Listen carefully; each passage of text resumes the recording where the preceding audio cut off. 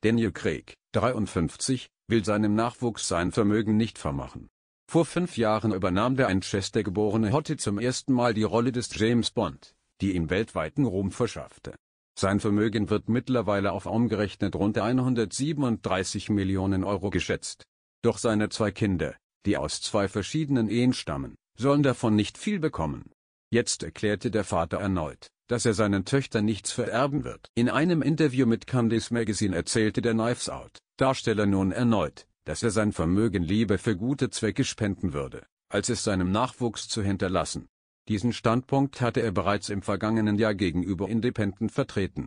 Ich möchte der nächsten Generation keine riesigen Summen hinterlassen, erklärte der 53-Jährige, bevor er hinzufügte, dass er Erben ziemlich geschmacklos finde.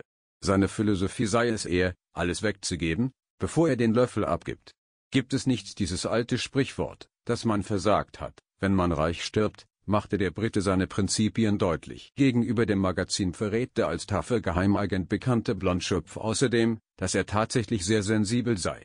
So würde er beispielsweise bereits bei gut gemachten Werbespots weinen und müsste sich ebenfalls in seine Schauspielrollen einfühlen. Ich will keine Charaktere spielen, die ich nicht fühle. Ich bin genauso emotional wie jeder andere und kann wegen allem weinen, versicherte Daniel. Tipps für Promiflash? Einfach e, mail n, tipps at promiflash.de